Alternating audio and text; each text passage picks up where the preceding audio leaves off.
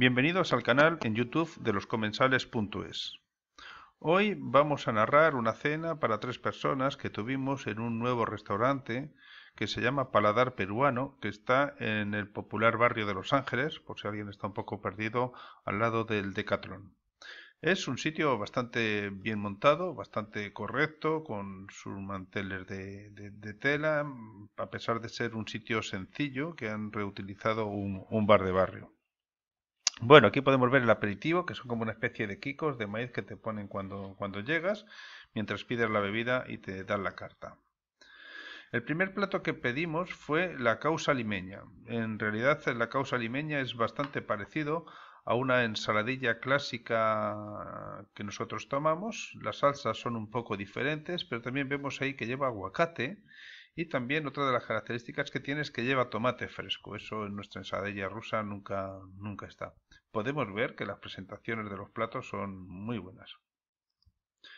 Aquí tomamos un ceviche eh, mixto, es decir, de pescado y de marisco, y fue realmente espectacular. Nos gustó muchísimo. Yo creo que es de los mejores ceviches que he comido. Aquí podemos ver otra visión del plato. Esto es un acompañamiento que hay que no sé exactamente, no sé qué exactamente qué es. Luego pedimos una patata rellena, que también nos gustó mucho, lleva dos tipos de ají distintos y podemos ver que lleva huevo, lleva carne, lleva, bueno, realmente sabrosa. Como plato principal también pedimos a compartir eh, el cordero seco, que bueno, como podemos ver no tiene mucha salsa, viene acompañado de un poquito de arroz eh, hervido, lleva un poquito de cebolla picada y bueno, la verdad es que está muy bien, no es el plato que más me, me gustara porque como su nombre indica lo encontré un poco seco, pero así bastante, bastante satisfactorio.